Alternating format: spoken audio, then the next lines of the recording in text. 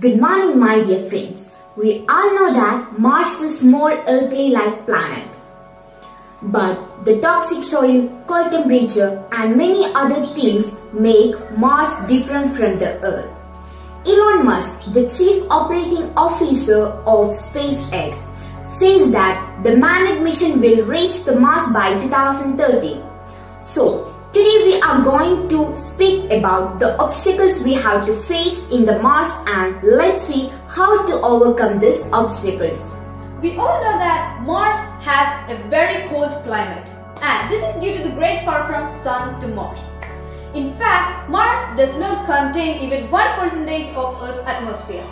The average temperature in Mars is minus 62 degrees Celsius.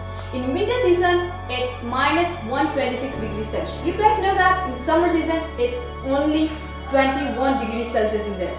So, we all know that human beings can't live there in this cold temperature. The red planet's atmosphere contains 95% of carbon dioxide and much less than 1% of oxygen. People would not be able to breathe the air in the Mars. So, we need to use spacesuit while walking in the Mars. So, the scientists have found that we can convert carbon dioxide into oxygen through chemical reaction of photosynthesis. But a new study suggests there may be another way to convert oxygen from carbon dioxide using ultraviolet lights. Find a particular area and create a boundary. After that, Start to plant inside it to manage the gases in the atmosphere inside the boundary.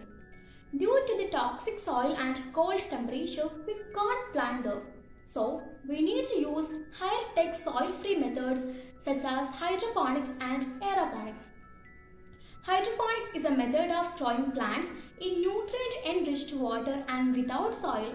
And aeroponics is a method of growing plants without soil where the roots are exposed to air. And also we can set solar reflector satellites in the boundary to manage the temperature over there. We can slowly change the Mars using terraforming method.